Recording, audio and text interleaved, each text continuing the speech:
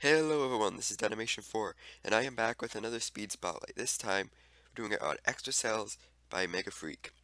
This mod uh, adds an add-on for extra for Applied Energistics. So if you don't know what that mod is, or you've never used it before, you should go check out a video on that. Basically, this mod adds more cells and fluids to Applied Energistics. So, we are going to get right into it right away. Just a note, you should already be familiar with some kind of setup like this. This is applied energistics. Now to start storing liquids in your system, you're going to need to craft some fluid storage cells.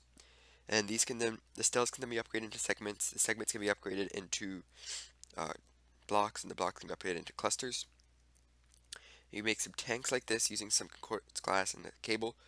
Put three of those tanks, one of the cells, flux dust into more glass, and you get a fluid storage of whatever size you put in the cell, and this goes right into your ME drive, and it'll store fluids for you. Now this is a tank, you just craft it, they stack vertically but not horizontally.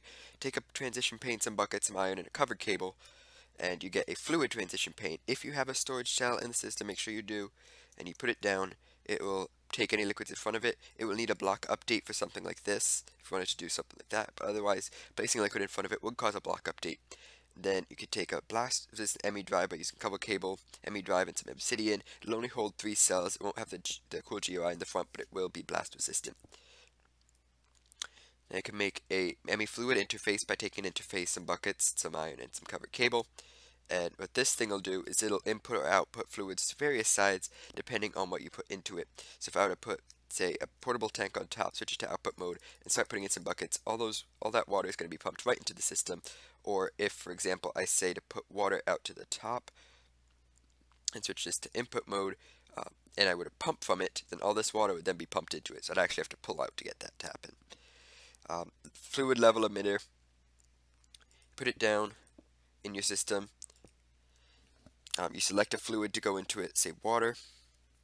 Then you select a level and you want it to emit if it's above or below. You put that in just like a regular level emitter would.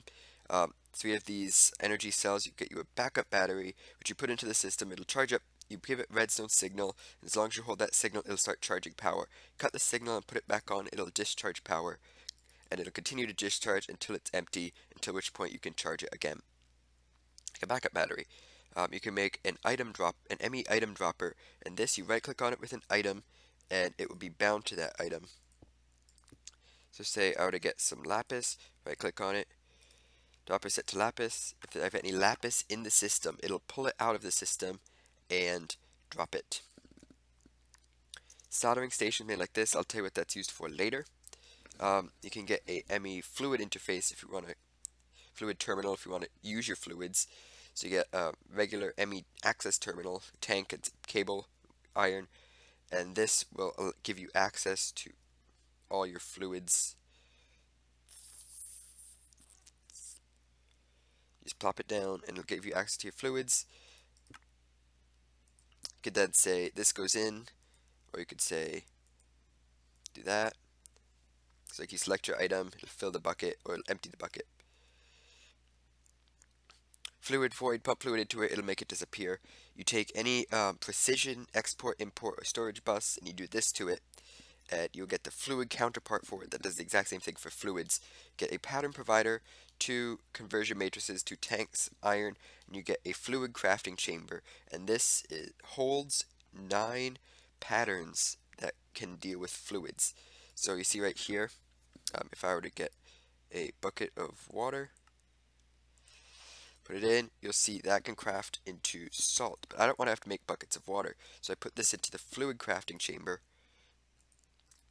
And it will take the water as a liquid instead.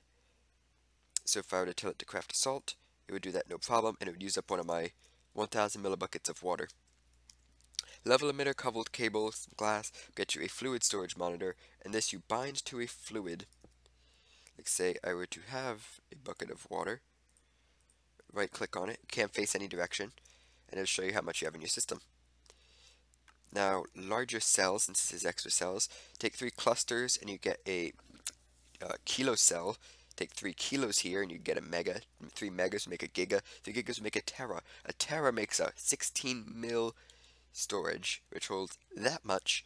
Um, everything else just divide by 4 to go down a layer. Massive, massive storage.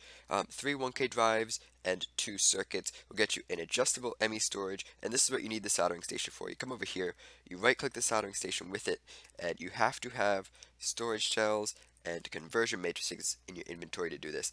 To go up a type, it uses a conversion matrix and it stores an extra type. To go up a storage, it takes a cell. You can see that number going down. And you can't take back out of it, but it does have the lower limit that you saw right when I right clicked. You can't go any lower than that. Uh, put a chest with an uh, 1K storage, and you get a block storage, and a block container. And this will hold one type, but it'll hold 65K of it, which is a lot. So you can see I have 521,000 lapis. That's all stored on this one um, this one block container that's holding all my lapis.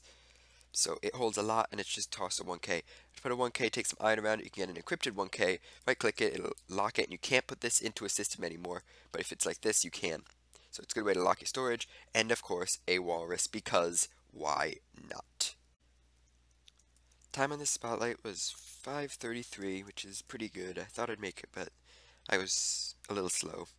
Um, few quick notes. This is the exact amount that the lapis hold, 520192. That's all in the block container. Some of it went into the 16K storage, that's why. Um, the locked cell does tell you it belongs to. Only that person can do it. And it's a shift right click. And as you can see, can't put this in. But that's it. Extra cells really adds to your ME system and it's great for storage of fluids and all that. And thanks so much for watching. Bye bye.